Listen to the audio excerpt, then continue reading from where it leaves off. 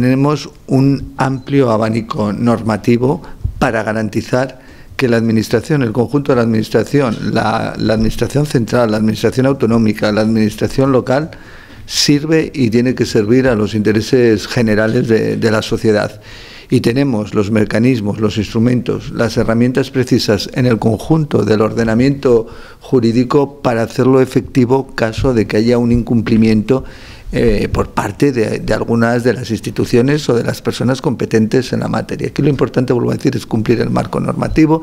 y las leyes, ya sea la ley de seguridad nacional, ya sea nuestra Constitución en primer lugar como el elemento y la cúspide o cualquier otra norma, se aplican cuando los supuestos de hecho concurren.